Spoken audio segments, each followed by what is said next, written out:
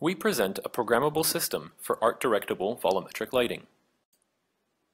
Our system decouples the geometric representation of media, beams, and the shading of this media. This mimics the way artists sketch volumetric effects.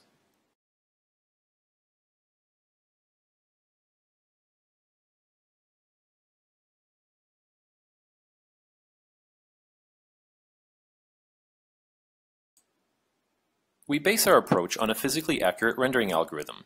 However, instead of specifying physical media parameters, we allow the user to dictate the observed appearance of the media, and our system deduces the physical parameters automatically.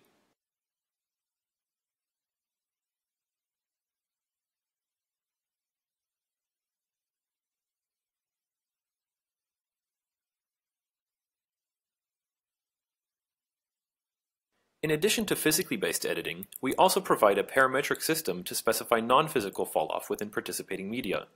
Here we show a user specifying a custom, non-physical medium using color splines.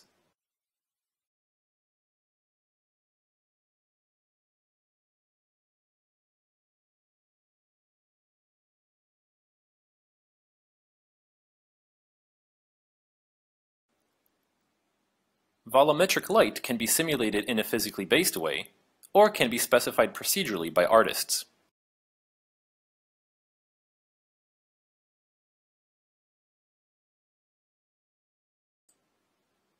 Furthermore, we allow beams to be nonlinear or curvy.